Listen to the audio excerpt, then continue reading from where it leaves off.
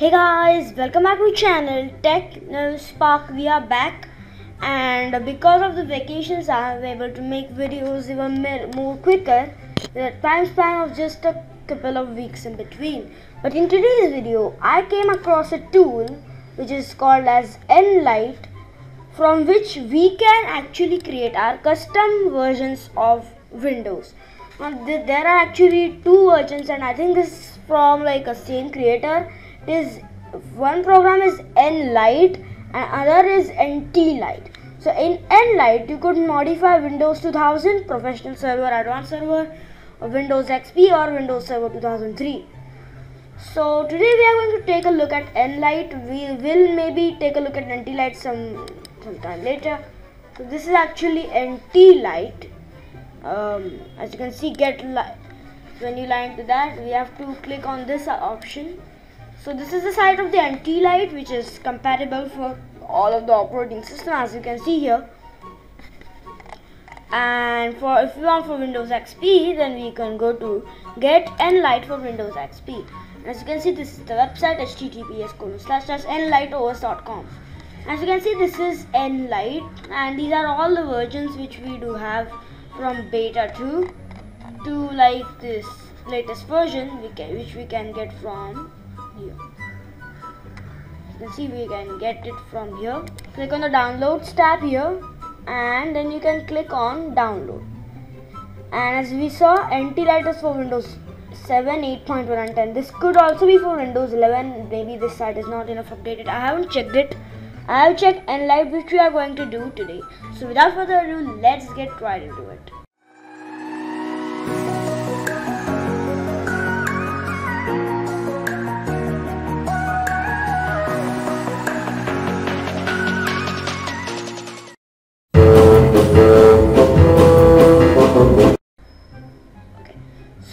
all you have to download this and go to the initial setup process which i'm not gonna do. So after we, are, after we have done launch the program and you will land on the screen coming welcome to nLite. So as you can see the language is english and this is freeware. You can get the premium plans then click on next. And to create like you have to create an extracted version of the os so basically how do you do it? So i am going to create a windows xp one. So windows xp iso is this. What you can actually do is download 7zip and click on extract files. And extracted files would be in the form of this. Basically the content inside the iso i mean if you just attach it here and you can see that actually. So that is how it is. So you have to extract it and go to nLite and browse and just go to the and select it. And as you can see it automatically uh, takes the information. As you can see this windows xp professional 64 bit edition.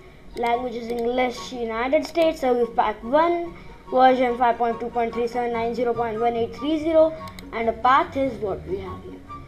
Then we have the size which is just 552 MB comparing to macOS Ventura which I am going to plan a video on is 15 gigs long. Can you believe it?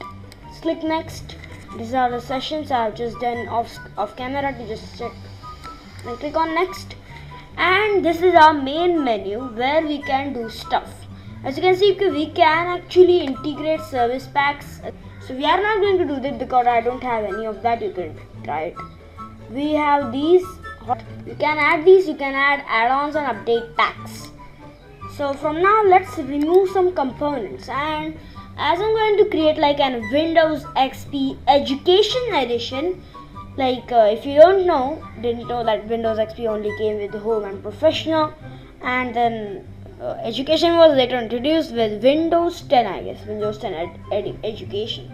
But what if I wanted like if I'm like in 2002 and I wanted to make an education edition for Windows XP then we can go use this program. So right now let's click on components and click on next.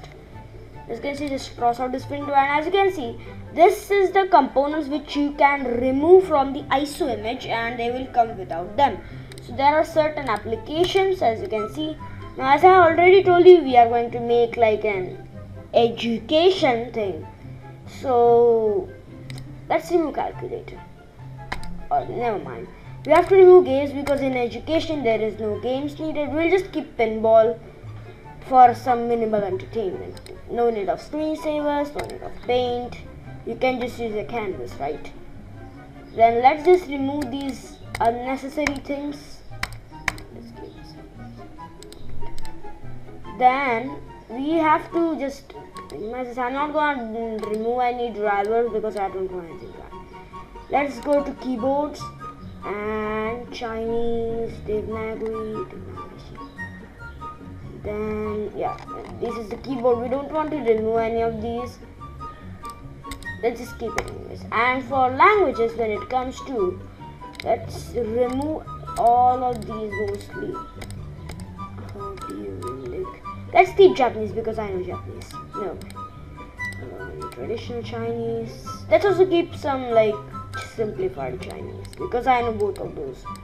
So let's keep this. English is not included in here because you have to keep English. So English is not there. You can never remove English. Multimedia. And no, nothing here. Networking. So you can actually remove like Internet Explorer. But we will remove messengers like no need for or like this. Outlook Express let's just keep it and let's just remove all these. MSN Explorer no needed bro. I think we'll keep it that way because Internet Explorer is not gonna work anyways because we don't have the drivers. Then let's just minimize this and now let's see what we have in services. If you want you can remove other things but I'm not gonna do I'm just gonna remove these three basic things. Let us go back the changes are now saved you can do this unattended. Next and you can literally just uh, I mean add if you are like an actually creating a system for like actual education if you have key like the thing you can put it you can also skip OOBE or out of box experience if you don't want it. But I'm not to do any of that because out of box experience is like the most innovative part of Windows XP setup we have users as you can as you can see we can actually do some restrictions. Because that takes you the name let's go to setup options which we can do. So now this is the thing where you can customize the windows setup. So black background i don't want classic setup. This means the setup would be uh, like windows 2000 like as you can see Windows 2000 it may even speed up because like the, the certain GUI may not be needed to process. So that is kind of great. So let's click on yes yes. And I don't want to uh, just do any of these. Like this is what I want to do. Let's click on back. Then we can do some tweaks which we are going to do so boot and shutdown so we can add control alt delete on log on. Let's enable that. Then log on page. We can put classic all welcome screen. Let's put welcome screen because I don't want to take out that much of it. Next is oh next is desktop. We can do stuff. We can like desktop icon size would be 16, 32 or 47. I'll keep it 16 at small. And Internet Explorer icon will hide or let's show because student need it for computer icon show. Oh wait. There are my documents. I will hide all of these. Hide. Show. No let's hide inside the show windows. So this is basically like the uh, version string which comes down. So I'm going to do that. Then right back into next. So the desktop is done. Explorer so explorer is a whole lot of thing. You can explore literally like yeah whatever. You can explore explorer let's go to internet explorer. You can also explore internet explorer which i'm not gonna do now. Is it me or is this actually funny my computer. So you can actually do stuff here like remove manage from context menu, remove search, remove share documents.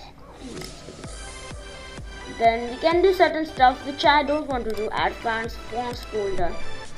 network privacy. Uh, the most I'm now interested is about the start menu because it's actually like fun kind of. So show eye favorites. So we don't want that actually. Small icons at start panel. Remove okay, remove username because you don't need. And remove logo and yeah you can just uh, my computer don't display this item because we don't need that. We can just do it in Explorer. So let's just do don't display this item.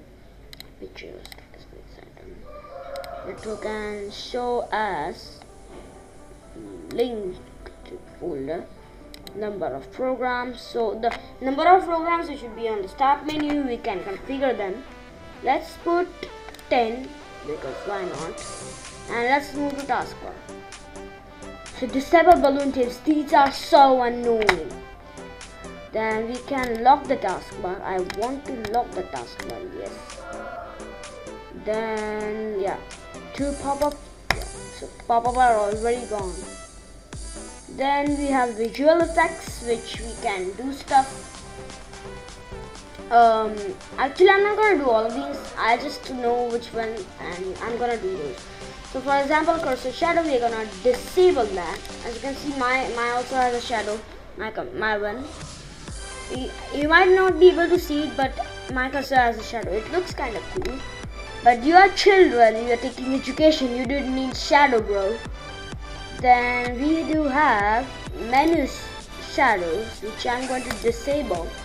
As you can see, this is with all the operating system. You can see down here that's the shadow. So I'm going to be a little mean and disable these. Menu style we can actually choose to classic and flat or normal. Let's put it normal. Translucent selection rectangle, why not? Slide taskbar buttons. I don't know. So we have these and we are going to disable Windows Media Player. Like most of these are disabled, so yeah. So now back. And the last thing is bootable ISO image. So we have to create it. So we have to label I label it Windows XP Education. And click on make ISO and you have to put it here. So let's give it a fancy name like um, WinXP G64 x64 as it's a 64 bit. Is there underscore between Linux PDU? Okay, never mind. Let's just do it. WinXP EDU ING x64 as an ISO image and save. Now this process not doesn't usually take that time, but let's fast forward.